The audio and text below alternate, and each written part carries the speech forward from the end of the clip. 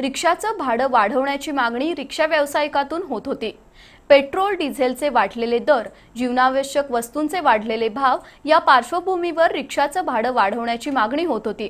त्याची दखल घेऊन रिक्षाच्या भाड्यात वाढ करण्यात आली आहे. एक मे पासून रिक्षाची भाडेवाढ होणार आहे.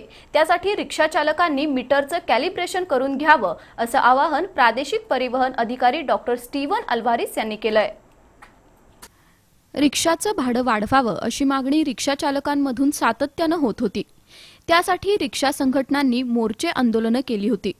त्याची दखल घेऊन आणि हकीम समितीच्या शिफारसीनुसार वाहनाची किंमत घसारा कर विमा दुरुस्ती देखभाल खर्च महागाई निर्देशांक इंधन खर्च या सर्व बाबींचा समावेश करून रिक्षाची भाडेवाढ करायला प्रादेशिक परिवहन समितीनं मंजुरी दिली आहे. रिक्षाचं सुरुवातीचं किमान भाडं वीस रुपयांवरून बावीस रुपये आणि पुढील प्रति किलोमीटरचं भाडं सतरा रुपयांवरून अठरा रुपये करायला मंजुरी दिल्याची माहिती प्रादेशिक परिवहन अधिकारी डॉक्टर स्टीवन अल्वारिस यांनी दिली. नवीन दर लागू करण्यासाठी मीटर कॅलिब्रेशन करून घेणं गरजेचंच आहे. मीटर कॅलिब्रेशन करण्यासाठी एकशे ऐंशी दिवसांची म्हणजेच एकतीस ऑक्टोबर दोन हजार एकवीस पर्यंत मुदत देण्यात आली आहे.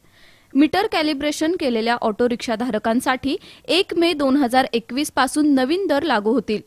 रात्री बारा ते पहाटे पाच वाजेपर्यंत दीडपट भाडं आकारण्याचा नियम कायम आहे असंही प्रादेशिक परिवहन प्राधिकरणानं स्पष्ट केलंय.